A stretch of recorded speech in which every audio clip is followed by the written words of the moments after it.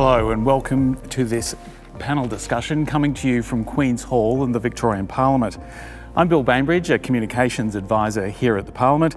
This is the third in our series STEM and Society, which are highlighting the work of Victorian scientists and researchers.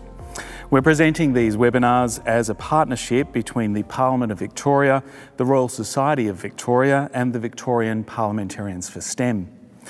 Before we begin, I'd first like to acknowledge the traditional Aboriginal owners of the land from which we're broadcasting. We pay our respects to them, their elders, past, present, and emerging. I'm joined this evening here in Queen's Hall by four eminent geologists Professor Andy Gleadow, Dr. Bill Birch, Associate Professor Sandra McLaren, and Professor Peter Betts. Welcome to you all. Thank you. And we're also joined here in Queen's Hall by students from Northcote High and teacher Jerome Holleman, who's a teacher in their Year 10 history, uh, Year 10 class, Big History. Welcome to all you as well. So tonight we're taking a look at how scientific truth is established. In the early 1960s, new evidence emerged that led to what's now known as the plate tectonics revolution a revolution that occurred just as some of the members of our panel were arriving at university. We'll be hearing from our students shortly, but we also want to hear from you. So if you have a question, you can put it in the window below the broadcast on our Facebook page or on the Facebook page of the Royal Society Victoria, and we'll try to get to those a little bit later. But first, let's start our discussion. And uh, Andy, I'd like to start with you. Um, to begin, what, what was the scientific consensus before plate tectonics came along? There, there, wasn't really a consensus, and there wasn't a, an older theory that was universally accepted. There were theories. There was a thing called uh, geosynclinal theory, which had been around for quite a while, and it was an attempt to um, put all of the observations together about how mountain belts were formed uh, from the sedimentary rocks that made them up through the igneous processes and metamorphism and so on. But it, was a, it really wasn't a theory of explanation. It didn't explain anything.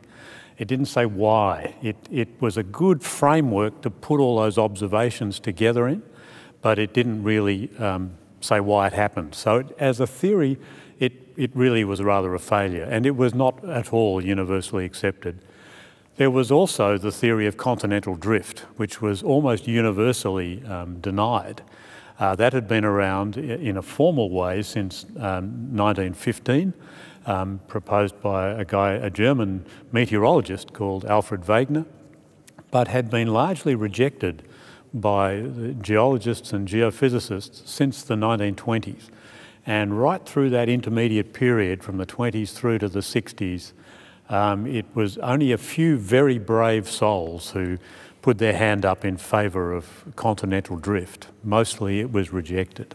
So that was the background. It was a vacuum, really. And he came up with this theory of continental drift just by basically looking at the shapes of the continents like a jigsaw puzzle. Yes, in fact, that had been noted much earlier, going back to the first geographic maps of the 1500s and the 1600s. Uh, people had um, when they first saw the, the shape of uh, South America and West Africa, they saw that these two matched each other. And this came together in a, uh, people thought maybe they had once been together. Um, what, what Wegener did in formalising that idea was that he looked at the geology of the continents um, that, that would have been formally together and he showed that the, the geology continued in a very plausible way from one to the other. The fossils were the same from one to another. So it, he, he brought together a tremendous amount of evidence to support this theory, but there were two things that really went against him. One is that he was a German scientist and he proposed this. He wrote his book in 1915, published in German in 1915, in the middle of the First World War. Uh, the English speaking scientific world uh, at that time was not in a good frame of mind to receive this. But the other thing, and the thing that was possibly held most strongly against him, is that he was not one of the geological fraternity. He was a meteorologist, originally trained in astronomy, in fact. So he was seen as an outsider, and that those things really created a mindset which was opposed to this. And geologists um, from the mid 1920s very largely rejected it. So, which is a pity because it's all absolutely true. and then the, the seminal event, at least in your reading of things, the yeah. seminal event happened when you were exactly the same age as the students yeah, we have here. You were a year 10 high school yep, student indeed I was, in Melbourne. And so, so tell us about that. What, what happened well, in that year? There was a tremendously important thing. What had been going on from the end of the Second World War, and indeed during the Second World War, to the uh, early 1960s was the accumulation of a tremendous lot of information, a lot of data about the ocean floors. What, what the, you know, 70% of our planet is covered by water. And we had no idea really about what the geology of that 70% was until we started to get all that new information. And it particularly came from geophysics um, things like the magnetic properties of the ocean floor, um, which were determined by dragging a magnetometer, a very sensitive magnetic recording instrument, a long way behind a ship, because the ship is very magnetic. And these were developed in the Second World War to find enemy submarines, which were also great big lumps of iron uh, under the water. Um, and it was realised that there was a background of measurement which was formed by the rocks of the ocean floor. And just simply by towing a magnetometer back and forwards across the oceans, they revealed bizarre patterns of, of where the magnetic field was a little bit stronger than the present day field or a little bit weaker, a little bit stronger, a little bit weaker. And these were lined up in zebra stripes of of what were called positive magnetic anomalies and negative magnetic anomalies. And there is nothing on land remotely like this. To, um, so we had no idea. And it required a radical explanation. And that explanation was provided by a young PhD student called Fred Vine at the University of Cambridge and his uh, supervisor Drummond Matthews.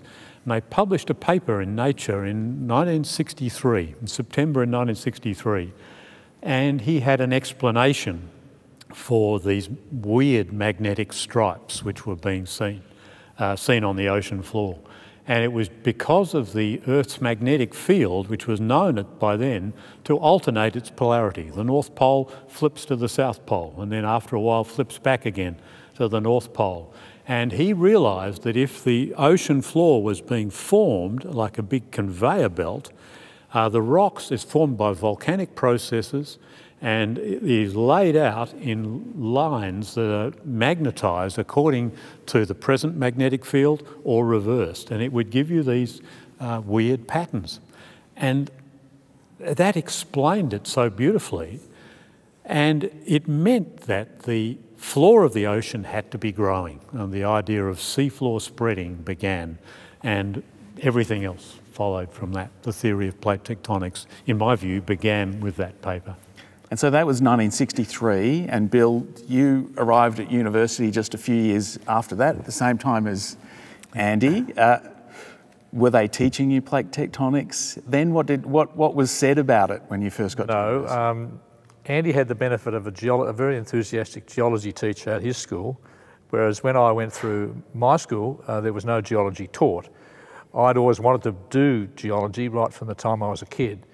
Um, but I got to university and I was, um, I think you could probably generally say I was unaware or very sli only slightly aware of plate tectonics and knew nothing about geosynclines, which we, so um, it was all new to me. So I didn't come in with any um, preconceived ideas or any real background knowledge. So um, I think in part three, which was 1968, in other words, at least five years after the 69, fourth, six, 69, 69, 69 it was for part three, third year. Um, third year. Um, that was at least five, five years after the revolutionary discoveries that um, uh, Andy mentioned about the seafloor spreading. But we didn't do any of that in, in part three geology. Uh, it was all geosynclines. Um, so it was only towards the end of the course in um, in uh, 1969 that they started to touch on um, plate tectonic theory, but we certainly didn't hear the names Vine and Matthews. Mm. Um, so I, yes, it was a, a, learning curve for me. And uh, yeah, that's just the way the way things go at university. It depends on your lecturers and how well informed they are, and um, you know how they inspire you. So. And, and do, you, do you think that they weren't they, they were ill-informed or they were resistant? I don't think they were. Well, we only had the one lecturer uh, who taught it, and I don't think he was. As a combination, maybe he was a bit of both, a bit resistant and a bit uninformed. Um, but certainly towards the end, he was starting to look, give the idea, the impression that he was starting to understand the, the, the new ideas. Um, but it didn't get that far before we moved, uh, we moved on to the next stage of our geology. So.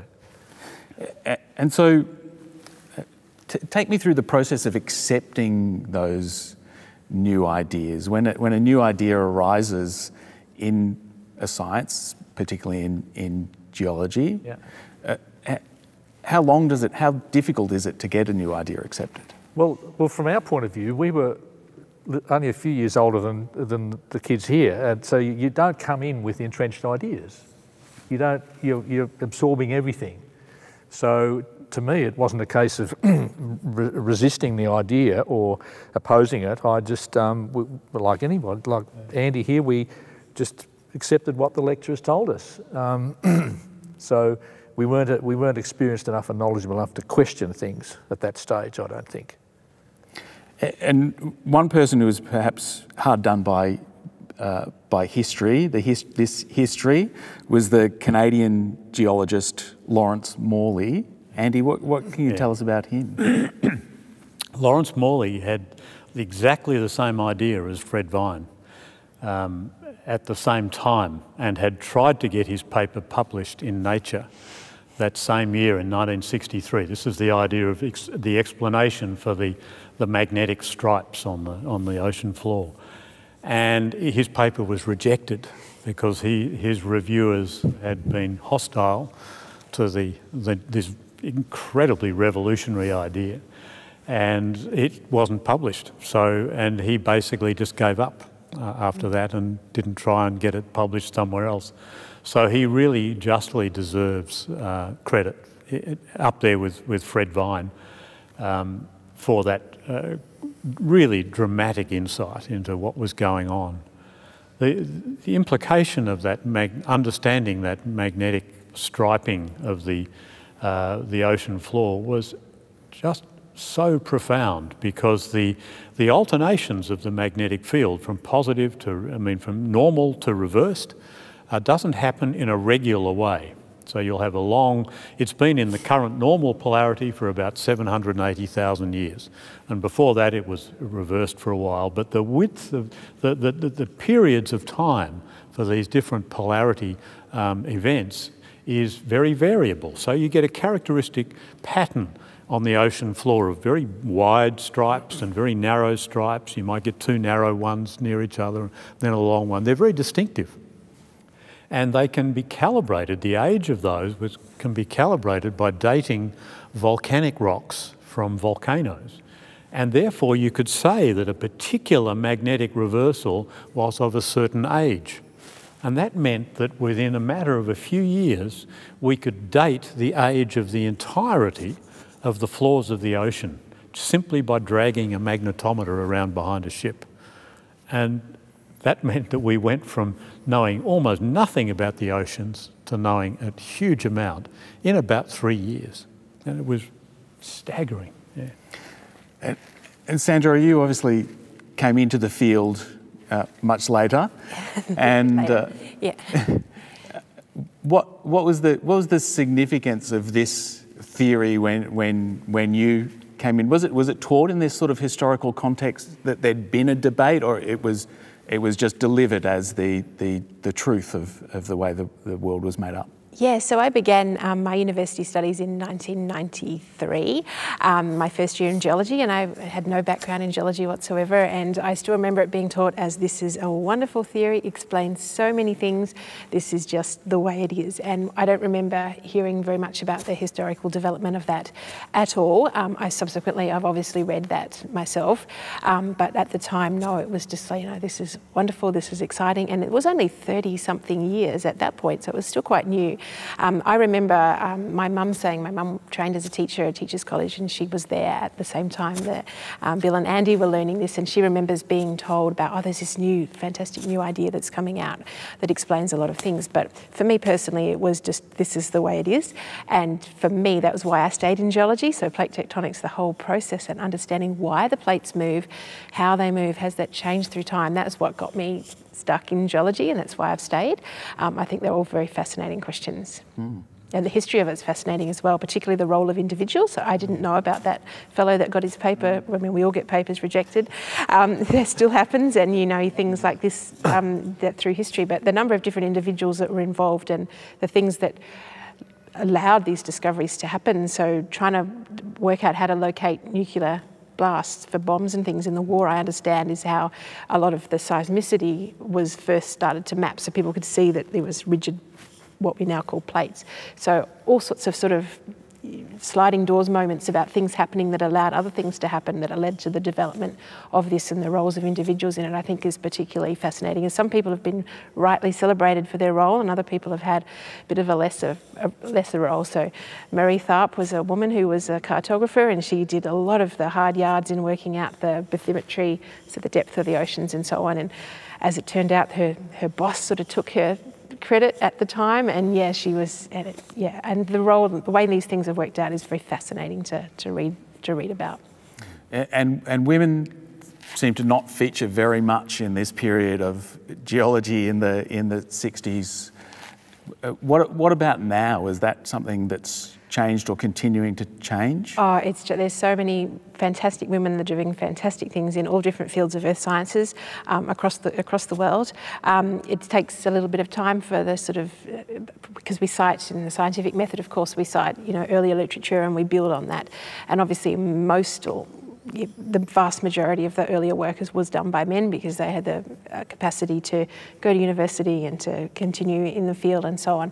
So there's a bit of a a lag there when you're looking back at history and things like this, but certainly now there's just a wonderful, any number of examples of great women that are doing fantastic things in geology and geophysics, yeah. And Peter, I'm interested in what you think about this question of the role of individuals, because obviously, uh, you know, the scientific method is that uh, something is researched, new evidence emerges, the, the paradigm shifts on the basis of the new evidence. But of course, we know that individuals if you've staked your entire reputation on something that is disproved by this new, new evidence, it's fairly natural for individuals to resist that. So, is that something that, that you've seen? Is that something that you think was a, a feature here as well?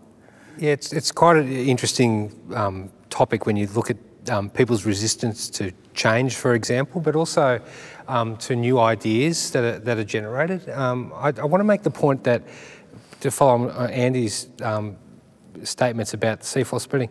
Plate tectonic theory is really a theory that was developed once we understood the oceans. We've been looking at continental rocks for hundreds of years, mapping them out. And if you go back to the literature and, and look at the um, descriptions of rocks from 100 years ago, 50 years ago, 20 years ago, 10 years ago, they're pretty much the same. And so it wasn't until we could understand the oceans could we make the step into understanding that plate tectonic theory. It was really super critical. Maria Tharp, um, the, um, Matthews, Vine, um, and, and, and Hess as well. Hess mapped the, the spreading centres, these big mountain ranges that went up the axis of the oceans, and they were, they were super critical. And we would never have got to plate tectonic theory um, by just looking at the continental record. Mm. And that, that's, that's a significant thing to, to understand. The change factor is really interesting. My, uh, you know, I was, uh, my own experience is um, using um, the Precambrian rock record in Australia, which is my area of expertise. I was the, probably the, the, one of the head cheerleaders of you know trying to advocate for plate tectonic processes in the Precambrian, and um, I see Sandra smirking next to me because she will remember it. And and a colleague and I, uh, we really got shouted out of the room for a long period of time, but we persevered, and collected and presented more evidence and and, and demonstrated, I believe, that plate tectonic processes were operating in a similar way using the continental record. So just, just explain that a little bit for us. What exactly is the Precambrian record? And, okay, so that's and the, how does this how do plate tectonics fit in there? So so the pre, so the oldest oceans on on the planet are about 200 million years plus or minus 50 million years, depending on who you speak to. And, and so the rock record after 250 million years is really preserved in the continental um, rock record. And it's an amalgam of you know, very protracted and long-lived history. And when we go back to the Precambrian, we're talking about rocks that are older than about 560 million years, and the rocks that I was looking at at the time were about 1.7 billion years.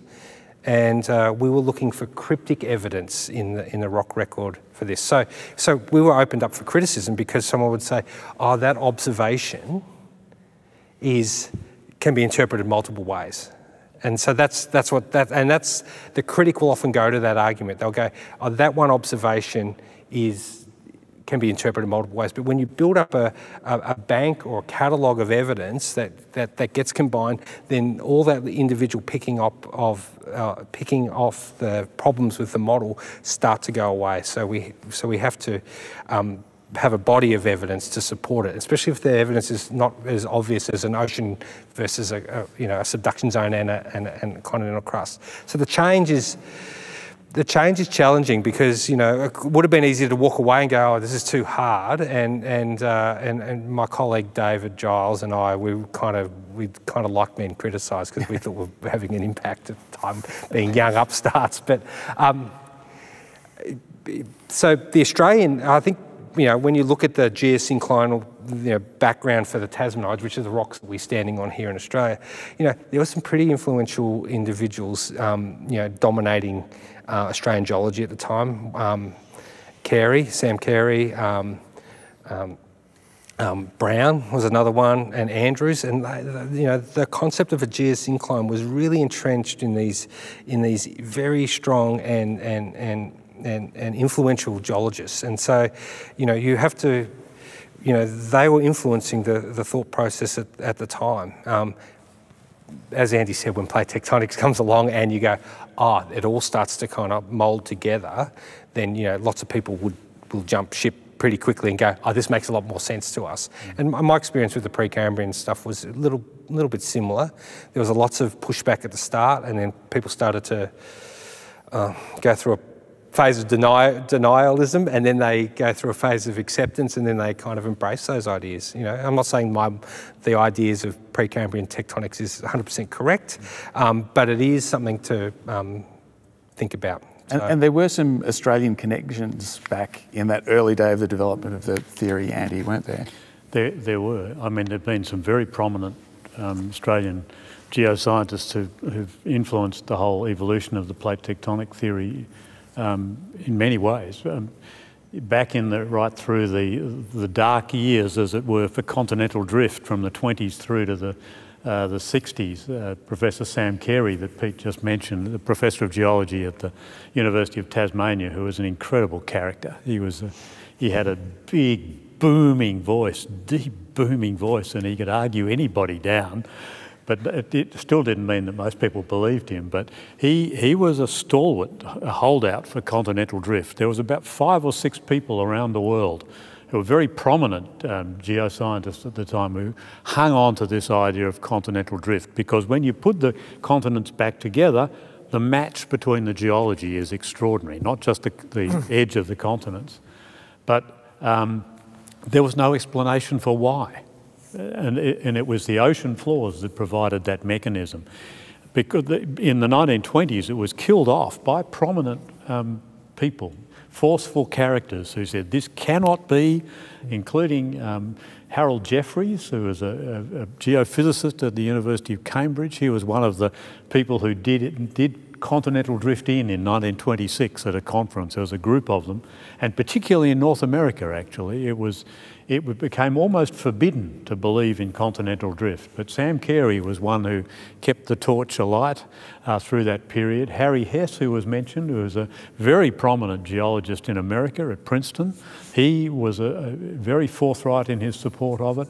Arthur Holmes in England, who was probably the most prominent um, geologist of his day in the early part of the 20th century. He was a firm believer in continental drift.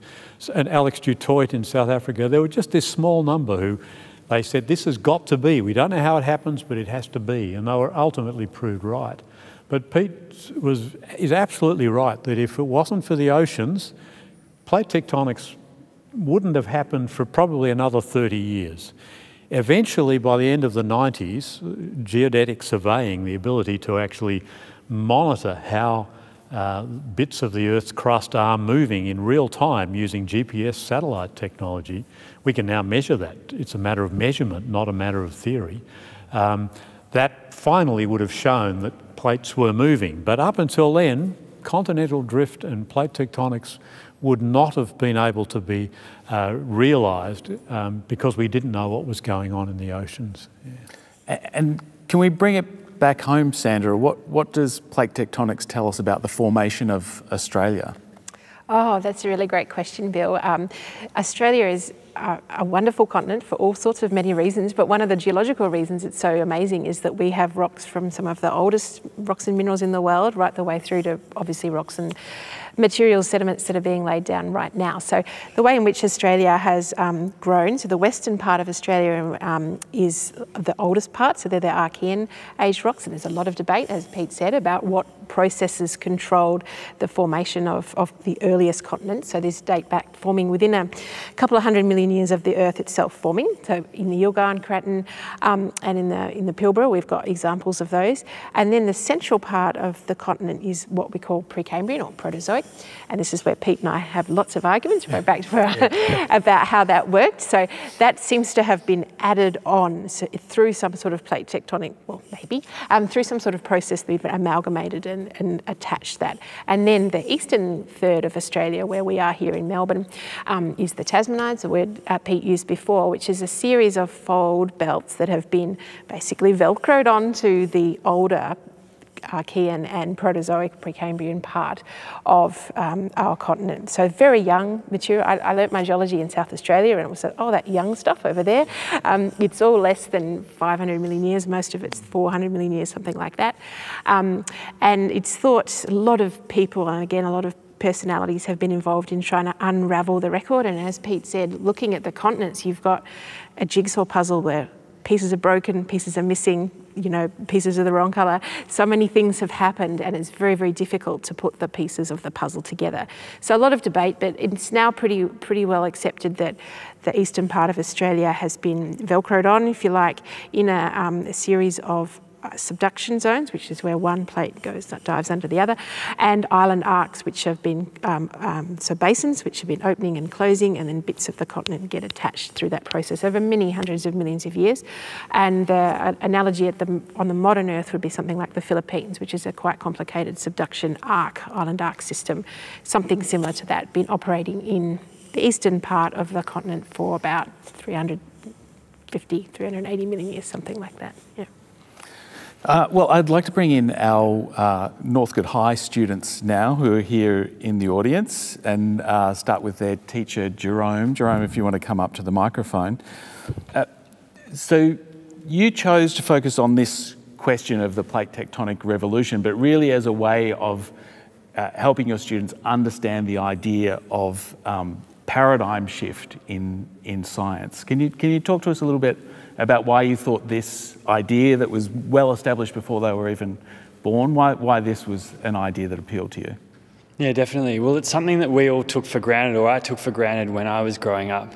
I'm um, just like Sandra said, that you know that continents moved and they're stuck together, and we had this whole land mass that we all kind of started on together, and then it shifted out, um, and people um, yeah, and the landmass has shifted. I think that um, young people are always interested in the earth and how it moves, particularly in volcanoes and earthquakes and mountains and where they come up. And so this was a wonderful opportunity to kind of to look at how scientific theory becomes actioned and goes from kind of mythology or ideas, hypotheses into actual truths or things that we, you know, become broadly accepted. And there are so many ways that we can kind of bring these ideas in relation to the knowledge and the issues that we're facing today, um, that it, it, forms a really perfect case study. Um, and, and, and largely also because of the evidence, because it, there were such striking kind of technological innovations that brought about um, those truths and that evidence coming forward to kind of build a,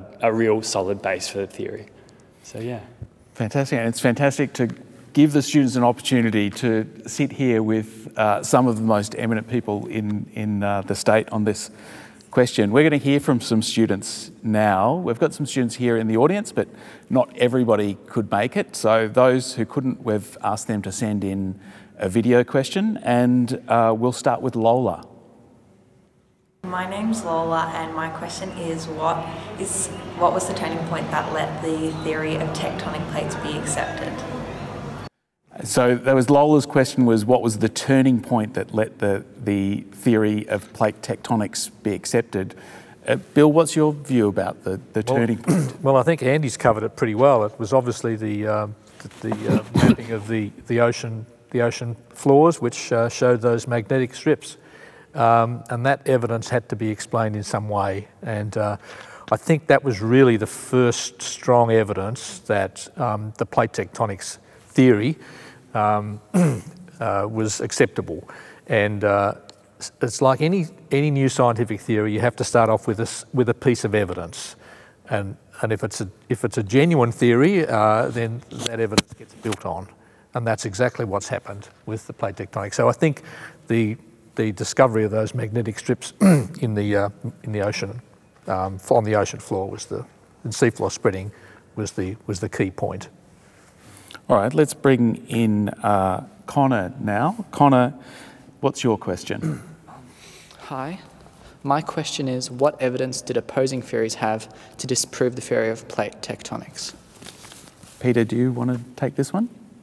Yeah, so I mean, the, the concept of a science theory is, is, is, is, you know, the general public kind of see it as, you know, a, a nebulous idea, but to a scientist, it's, you know, the nearest thing to a truth. So plate tectonic theory is the first theory, really, in, in geosciences in general, that, um, that kind of um, allowed all the Earth observations to hang together into a unified idea and concept that, that could be used. So before that, there was different ideas. Um, we've, we've, talked about continental drift, and, and its problem was um, not only did a meteorologist uh, in, in, come up with that idea, but, but actually the, the real problem with it was there was no process. So there was observations, but it, but it couldn't be, you know, there wasn't any um, concept of how it actually um, hung together. The geosyncline theory, which is, which is really a theory that dealt with um, minor lateral movements of, of, the, of the Earth, unlike plate tectonics, which have enormous lateral movements, and lots of vertical movements of rocks. And then, and then the other one, the other theory that's kind of got a little bit of traction in some parts of the community um, is expanding Earth theory, which is the Earth started off as a small, uh, you know, planet, and over geological time, it's got bigger and bigger and bigger, and that's what's driving the movement and some of the observations that we would consider to be evidence for plate tectonics. But the vast majority of, of the geoscience community um, accept um, plate tectonic theory because, because it does allow us to um, join and link different and disparate geological observations into, into um, the one broad um, scientific theory.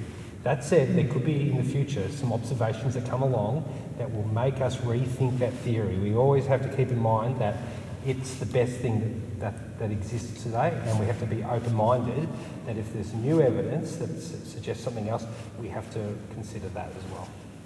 Thanks a lot, Connor. Uh, so we've got another video question now. Uh, we're going to hear from Nick.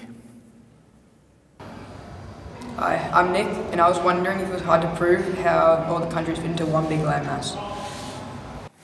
Uh, so the question from Nick was, uh, was it hard to prove that all the countries fit into one big landmass? So I, I think this goes to, to what we were uh, talking about before, Andy. Yeah, yeah. I don't. It's it's not hard to to prove once you accept that the ocean floors are essentially a transient feature of planet Earth. They are formed, they move apart, and eventually they are destroyed in the process called subduction, where they dive back and are absorbed back into the, the major part of the Earth, the Earth's mantle beneath the Earth's crust. So once you accept that, then um, it, continental drift is simply a consequence of it, because if you, if you run that, that conveyor belt backwards, it brings the continents back together. And in fact, the structures on the ocean floor tell you exactly where the, the, uh, the continents came back together. For southern Australia and Antarctica, for instance, we now know exactly where they fitted together because of some of these uh, big fault structures on the ocean floor that essentially trace back exactly the joining points. So we are, we are able to prove um, very convincingly what they were. And then once we know how they fitted together, we can look at the geology and we see that it in fact makes a, a, a completely coherent um, explanation. So yeah, we can, we can understand that yeah, quite well. Great question from Nick. Uh, now we've got Ken. Ken's going to give us a question. Um, hi, my name is Ken. Um, how did you first hear about um, plate tectonics and plate tectonics theory? and after looking through the evidence, what were your initial what were your initial thoughts? Well, I think we've heard a little bit from you, Ken, on this, and perhaps Peter, if you want to uh, talk about when you your, your first, very first encounter. Well, I actually can remember. So I, I, so I was born in 1970, so you can calculate my age if you like, but. Um, and that, and that was when the revolution was, you know, had just begun. So, you know, it was, you know, leading up to that, it was 67, 68, 69, and 70. And, and I was a country kid in, in East Gippsland in, in Victoria, and my auntie gave me a book. And it was all about plate tectonics. And I, as a nine year old, I was completely fascinated by this at the time. And I was like, you know, besotted. And apparently, I used to like rocks as well as a toddler. But, um, but but, but that's my very first recollection. I can even tell you the cover of the, of the book was white. I can have that vivid of collection, uh, re recollection of that, of that book. But, it, but it, had, it basically had cartoons showing how the plates evolved. It had mid-ocean ridges, it had subduction zones. It showed the difference between continental crust and oceanic crust. And I thought, this is so fascinating and, and explains so much. And, and, and that's kind of where some of the passion for being a geologist came from. Thanks for the question, Ken. Uh, we've got another video question now. This one comes from Cassius.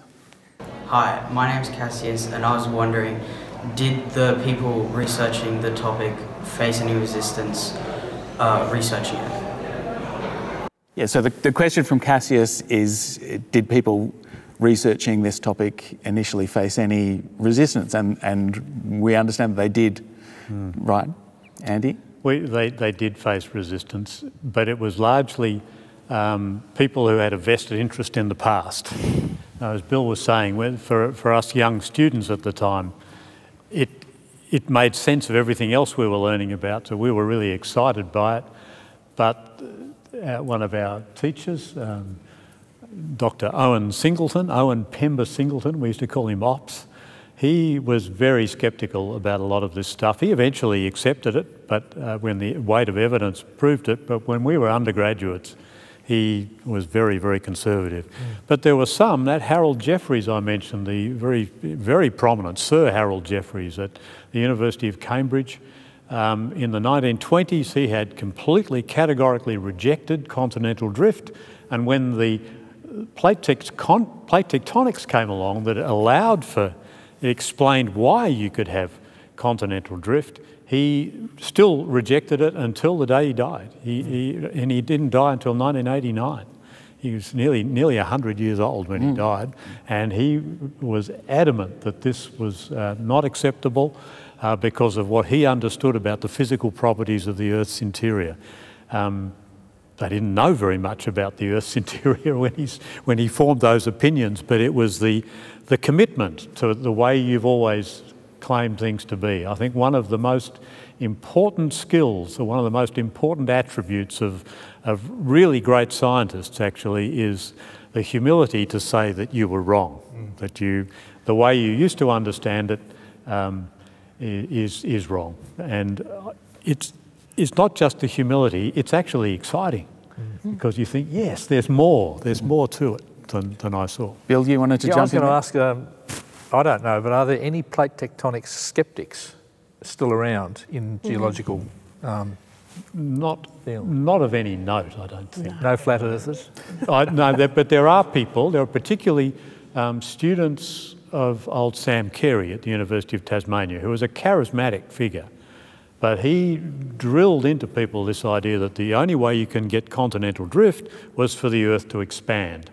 There's huge problems with that now that we, because you have to have no ability for the plates to come together in subduction.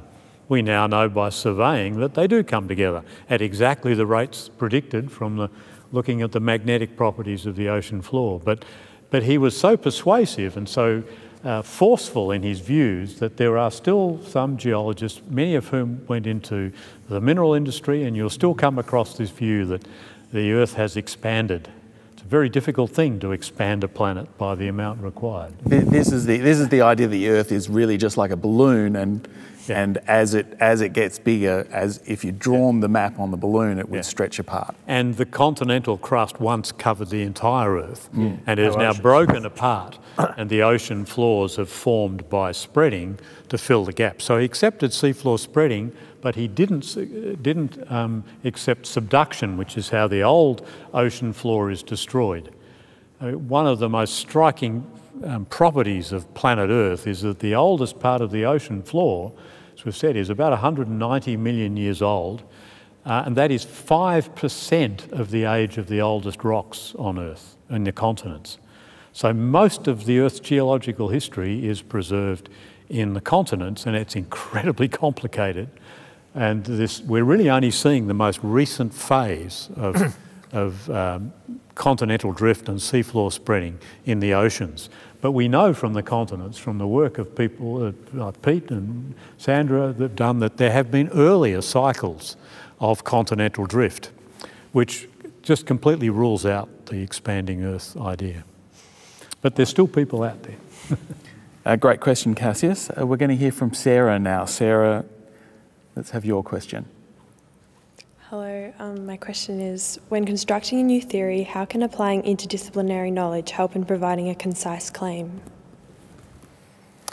Sandra, do you want to have a go Yeah, that? that's a really good question too. And um, it's very difficult to sort of look back and to see how interdisciplinary, interdisciplinarity worked at the time. It wasn't such a thing. People were very much more siloed into a physicist or a mathematician or a meteorologist or so on. But people thought across boundaries, as Wegener um, uh, demonstrated really well. Um, so I don't think it was really a part to play in this um, in historically. However, when you look back on it now, yes, they needed to look at the physical properties by looking at the magnetic signature. Yes, they needed to look at fossils that were observed on different and on different parts of the continental blocks and so on. So I think looking back on it, there was uh, a, big aspect of that, but it wouldn't be what would you would say characterised the solution of the problem at the time. Um, we were talking before that um, interdisciplinary. I'm not going to be able to say it, am I? Um, working across um, disciplines is a big thing now, and it's such an important thing for the problems that we're solving now. Um, but it wasn't really as much of a thing um, in the history of science. People were much more on a, on a single track. But it did bring the different parts of the geosciences together.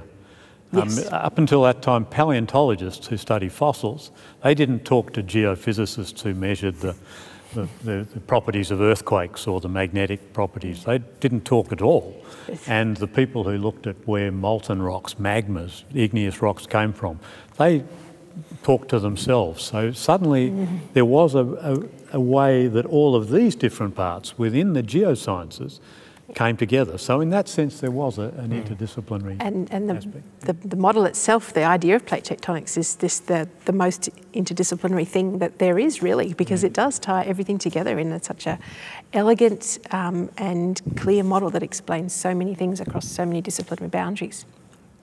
But I don't, I don't think if you looked at the papers that came out at the time, No. there's not a great deal of evidence for interdisciplinary collaboration in the, in the individual papers. And of course, that, cha- that has changed significantly now.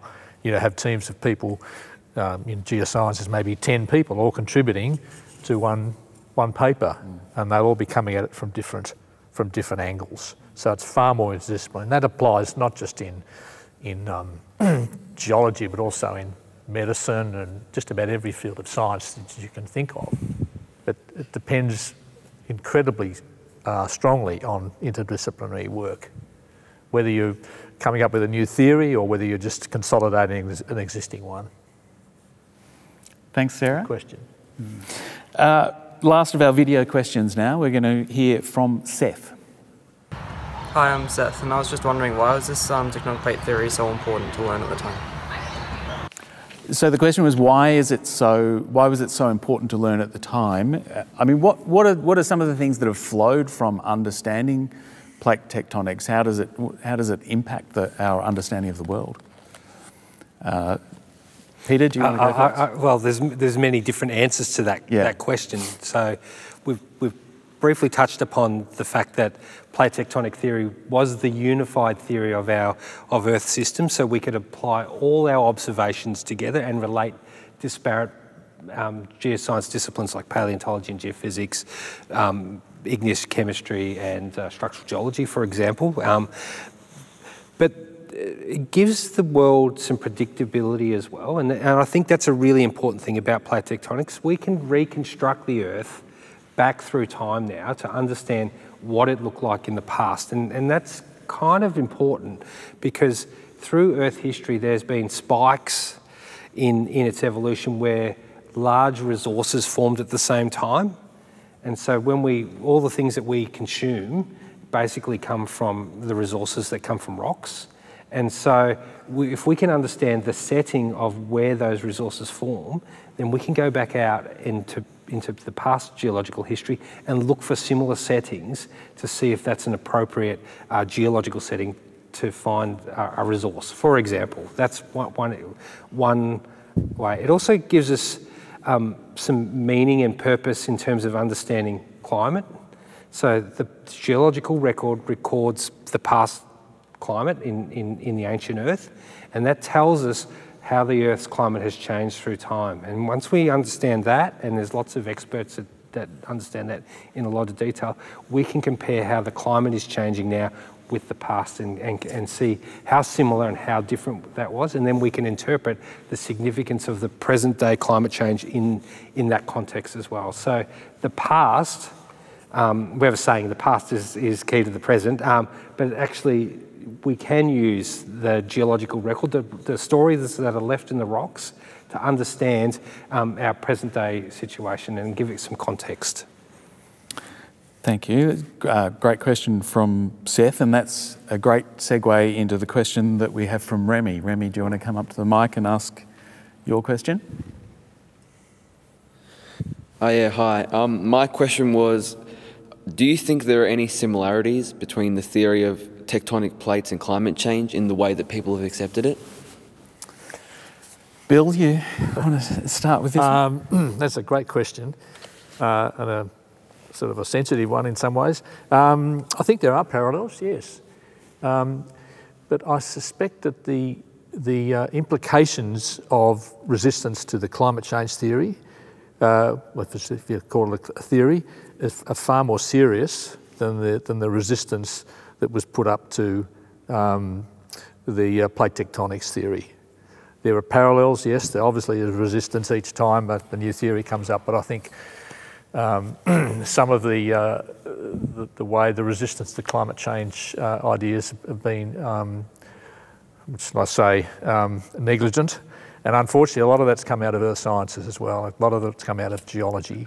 So um, I'll probably cop a bit for saying that, but uh, that's the way I feel. And It's I think um, I think we we can test the, the, the ideas of the panel here and see what they think. Yeah, so. What do other people think? I mean, it's the you know the most critical question facing us, and yet there is still some uh, quite a bit of resistance out there. I, I think it's the time scale is somewhat similar. I mean, it took 50 odd years for the um, from the original idea of continental drift till plate tectonics, and then it was very, very rapid acceptance by the great majority of people. I, I think the scientific debate about climate change ceased probably in the early 90s about whether it's happening or so on. That, that is long since stopped happening. There is debate going on in the, in the popular media, but it is nothing, is not based on the science. The science, it is, it is very well established. But it does take time, and there are people committed to, and for, to various viewpoints for various other non-scientific reasons. And you know, one thing about people who oppose new ideas is that very often they're not willing to change and the advances gradually come as a new younger generation grows up who have, have embraced the new ideas and so I think very much it belongs to your generation to and some of the older opposition will die off in due course. I'll subduct. Thanks for the question, Mary. Yeah. Uh, I, I wonder, I mean, in, in, the, in the climate area, there's obviously vested interests. Was there anything similar that in the geological area, was there any kind of, uh, you know, industry that was affected or, or was it purely a, a scientific debate? Mm. I, I, think industry embraced it very quickly because it gave them a predictive capability yep. mm. to explore for new copper deposits, for example. You know, the association of very large copper deposits with, with active mountain belts was quickly established and it gave a predictive um, ability. And similarly with, with uh, hydrocarbon exploration yeah. and so on, petroleum deposits, it became oh. all driven by plate tectonics very, very quickly. Uh, so the opposition wasn't from the, the industrial side. The opposition, uh, the conservatism was really uh, protection of personal reputations yeah. that had been mm. built on an older idea. Mm. That's my opinion. Yeah. Mm. I agree 100% with that. Absolutely. The e- applies today. Egos. Yeah, yeah, yeah. egos, exactly. Yeah. And so, how's our, since, since this paradigm shift has come about, how has our knowledge moved on? What are some of the, the things that have flowed from understanding that uh, plate tectonic revolution? Sandra? Um, oh, so, so many things really in terms of what Pete was saying before about where we find resources, where we find petroleum basins and things, um, but also things like hazards, understanding mm. geological hazards that face that society faces. We have a much, a very a very clear understanding of where we are likely to get very large, very damaging earthquakes, where we are likely to get um, uh, uplift and flooding events and things because of the nature of the geology and what's been moving around and so on. So it's informed a lot of our understanding about the way we as a society sit on the earth, and I think that's been uh, amazingly helpful and predictive for the future.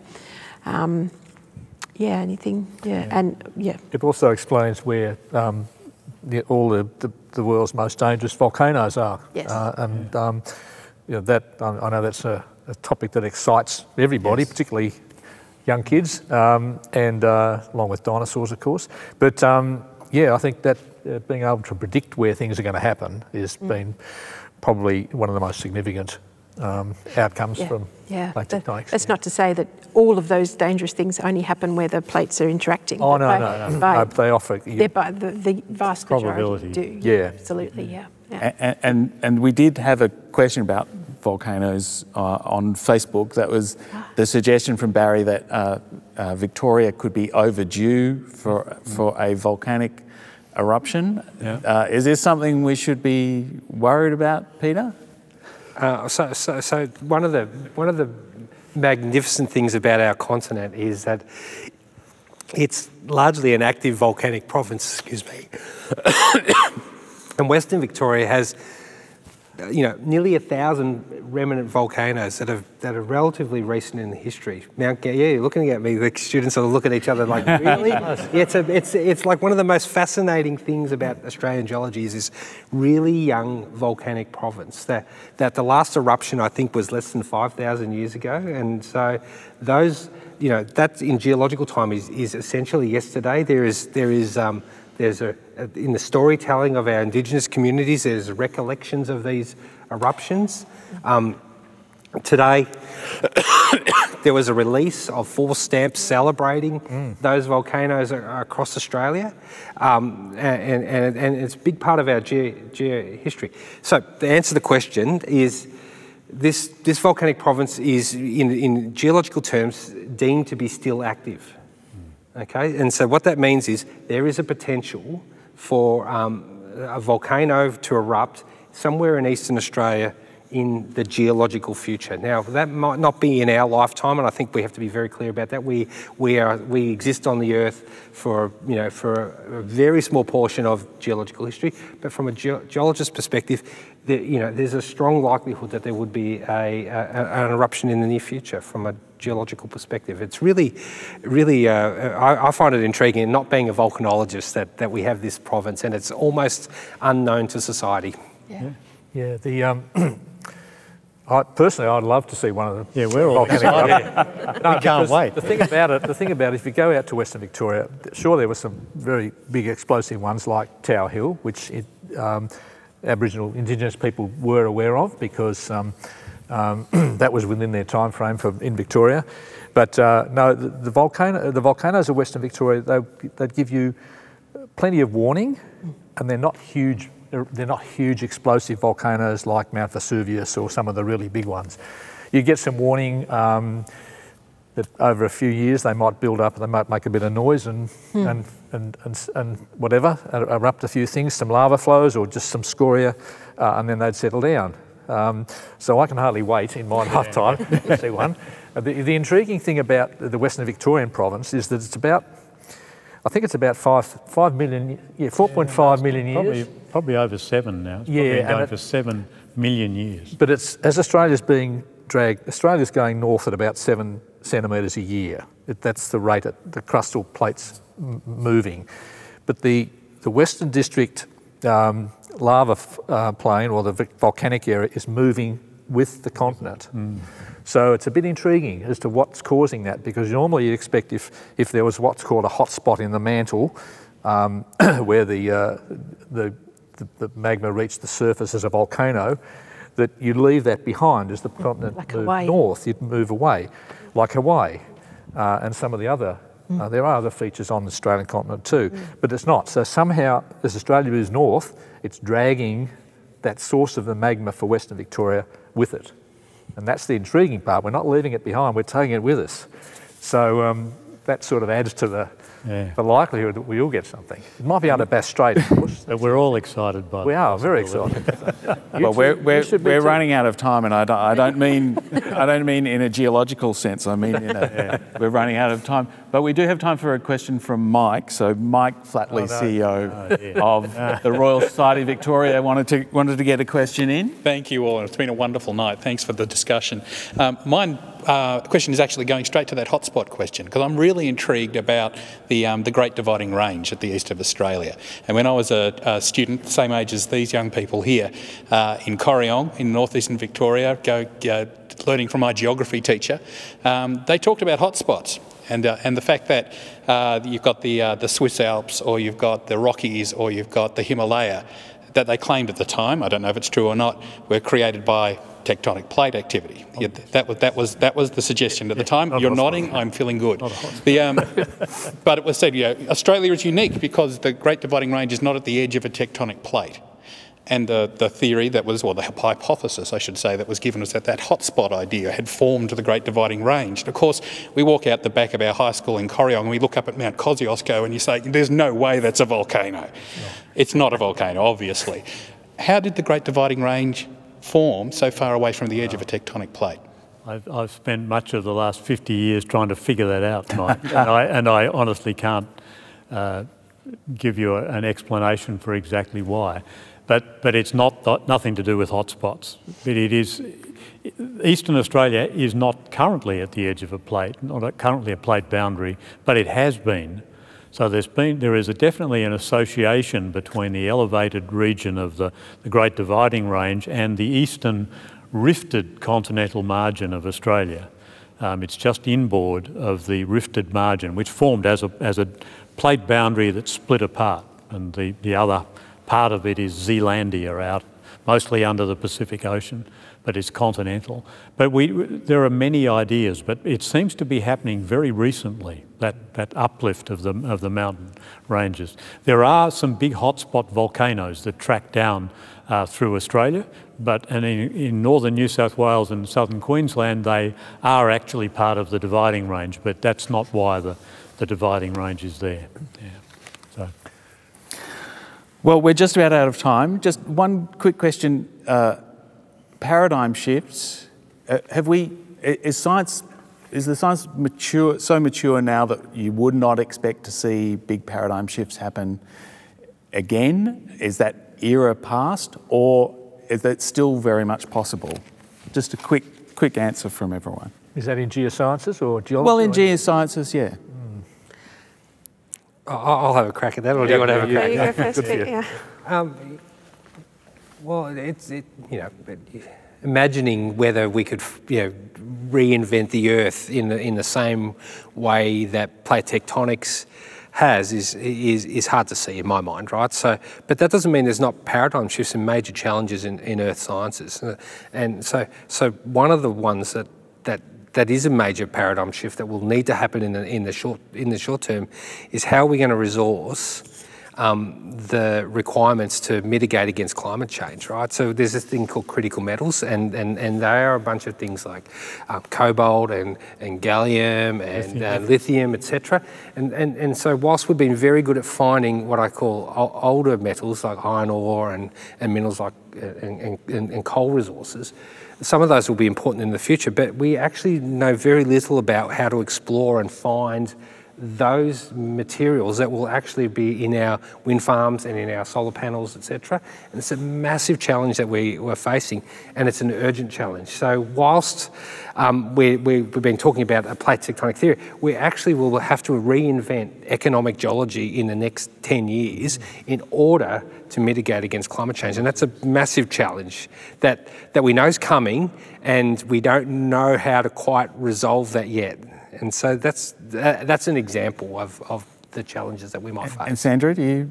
Um, in terms of discoveries and grand new ideas that unify things in the way that plate tectonics does, I doubt it's going to happen again mm. um, to that extent in geosciences, but it's very easy to say that looking back and we don't know what's going to happen going forward. There's so many new techniques in science in all sorts of things, and all these interdisciplinary boundaries that we were talking about before are getting blurred. So who knows? There could be a potential for something wonderful to be found by a new generation of scientists, and I would love for that to be true. I absolutely would love it. Yeah. Bill? Well, I'm, I'm a mineralogist. I work with minerals, and uh, I, uh, I don't think it would amount to a paradigm shift, but there are um, a lot of minerals which uh, um, have incredible properties which we don't quite uh, understand yet. Uh, and there are new minerals being found which also have incredible properties, and some of them are actually applied, uh, you know, in technology.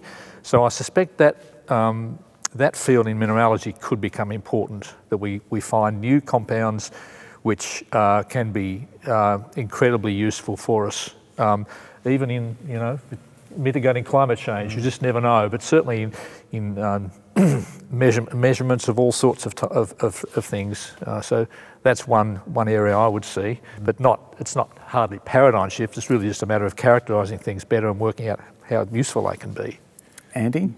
I, I think we've got to look at what at the major paradigm shifts in other disciplines as well to give us a perspective on that. I agree with Sandra. I don't think we're going to see a, a major change in the all-embracing theory, but we may see an improvement on that rather like um, Einstein's theory of gravitation, his general relativity theory, improved on and extended the implications of Newton's theory. But it, it, it doesn't change Newton's theory of gravity in its own uh, sphere of operation. So we may extend it, there may be more to it than we've recognised yet, and there are still big questions um, in the resources. Mm. Um, in terms of the when did plate tectonics begin? Mm. That's something we there's lots of ideas, lots of arguments yep. about when yep. plate tectonics began, and we don't know. Yep. We don't know yet. Mm. But so we'll learn more about it. It'll get better, but I don't think it's going to be overthrown anytime soon. Yeah.